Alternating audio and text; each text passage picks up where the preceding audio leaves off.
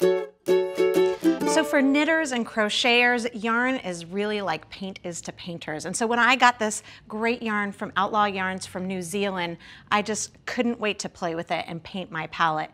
What's really great about this yarn is it's made from alpaca and polwarth, which is a kind of sheep, and also possum. And those combinations make the color super saturated and rich. So it was just begging for a really graphic pattern.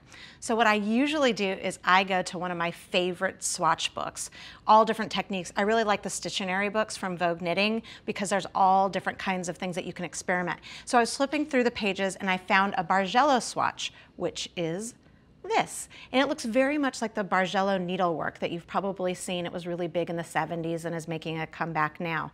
It's like stripes, but it's got a little flare.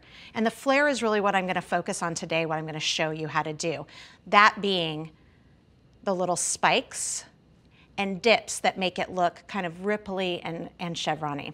Okay, so I've already done all of the setup rows bef before that. And the complete instructions for this whole swatch will be on our website, so don't worry about that.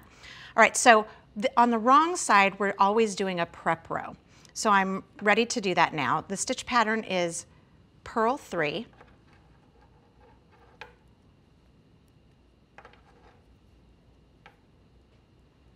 Then the next stitch that you purl, you're going to wrap not just once, but twice.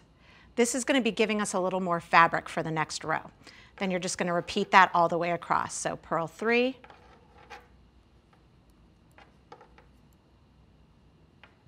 and then the next stitch, we're purling one, wrapping twice.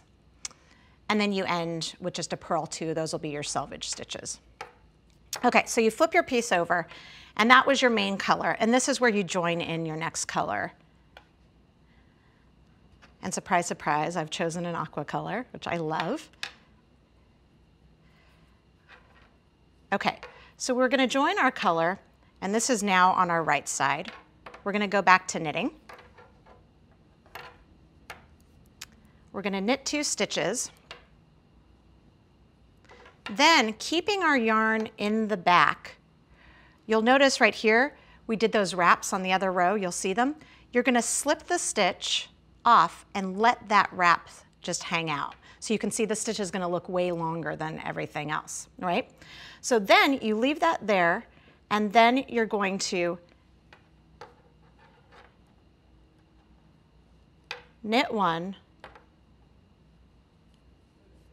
and then we're going to be making a loop. So what, what that means is we're going to go down two rows. So to make the loop, we go down, you'll see one row here below, we're gonna go down in the next one. So we're gonna pick up that, and that's why I really like to use these sharp metal tips, makes it really easy. We place it on, we keep it on our right hand needle. Then we're gonna knit that next stitch. Then we take that loop that we just picked up and slide it off.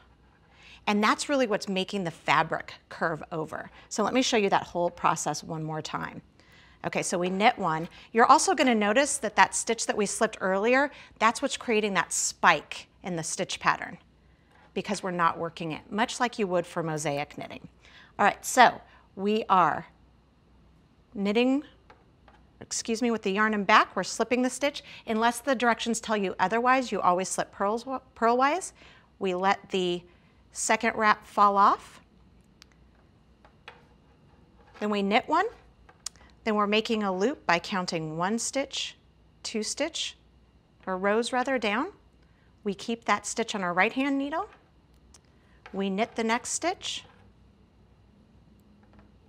and then pass that one over. And you're just gonna continue that all the way to the end. And then there's just a sequence of changing the colors like you would with regular stripes. And that's how you create this great stitch pattern. I love it. Again, the swatch pattern is provided by the Vogue Knitting people, so we'll have it on our website.